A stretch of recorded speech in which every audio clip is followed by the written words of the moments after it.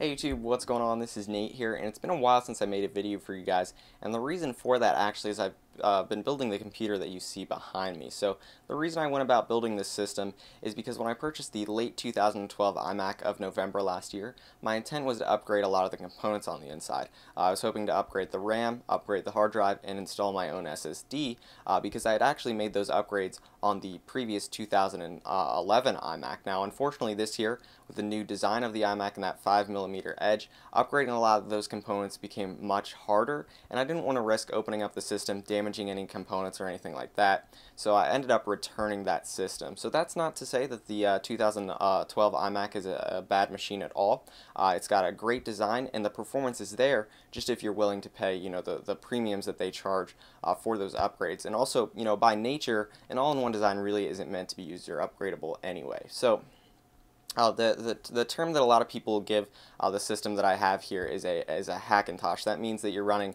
uh, OS 10 on non-Apple hardware. So in this instance, I have Mountain Lion 10.8 running on my system, as well as Windows 8, and thus far, uh, it's been a really great experience. So I'm going to be doing a video series. You know, I'll talk about the components that I, uh, in, in, a, in future videos, I'll talk about the components that I have on this system and components you might want to use for your own Hackintosh. I'll do a performance video where we'll run some uh, stress tests and things like that and see how the computer performs.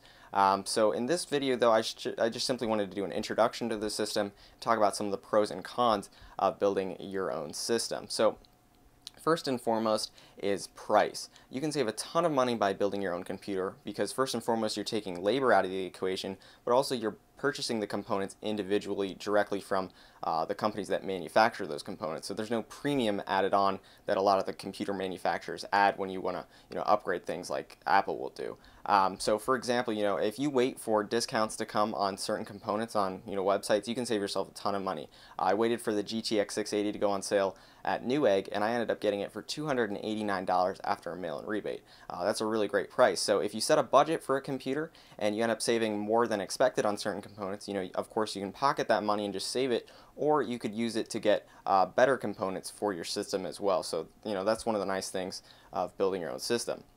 Next up then is user upgradability. So let's say, you know, later uh, this year when uh, Intel releases their new Haswell chipset, I want to upgrade to that. So maybe I'll replace the CPU in my system and my motherboard, but keep my graphics cards, my hard drives, and everything else in the system intact. I can easily do that since I've built this system.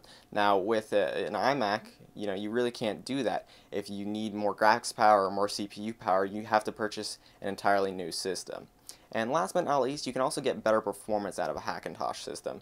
Um, there are you know different things you can do to, to achieve better performance than you know the systems that Apple sells. For example, I can overclock the CPU that I have here and get faster uh, you know, a faster speed on it. So I currently have mine up uh, overclocked to 4.3 gigahertz. Uh, the one that Apple sells would be clocked at 3.5 gigahertz with the turbo boost up to 3.9.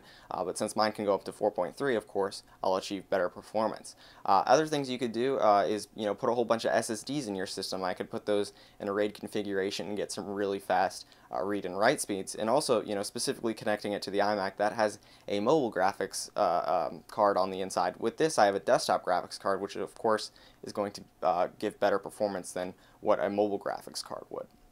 So those are, I think, the three uh, main benefits. Those are price, uh, user upgradability, and the ability to get better performance out of your system. So for the cons, uh, the first one I would say is there's no Apple support. This isn't a genuine Apple system, so it's not like you're going to be able to go into an Apple store and get support if you need any help with it. Now, I've been working with OS 10 for a long time. I'm very comfortable with it, and I can troubleshoot you know any issues that I have on my own.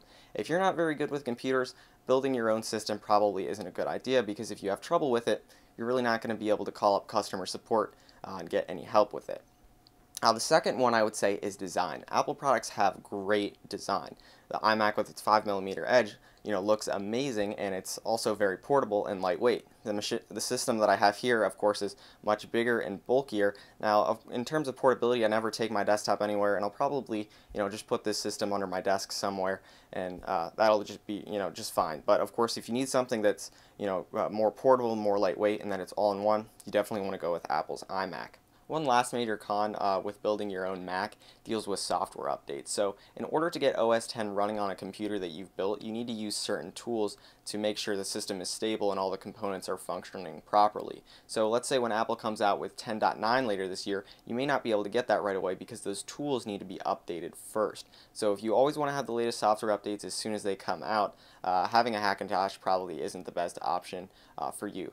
Uh, luckily for myself, I still do have a genuine iMac MacBook Pro in my household, so I'll be able to use those if I want to do any uh, developer preview videos of 10.9 as well as a review of 10.9 uh, when it is released. So this is just an introduction video to the system I built and some of the pros and cons of building your own Hackintosh. Uh, let me know what you think about this in a comment down below, and I will see you guys in the next video where I cover the components that I have in my system.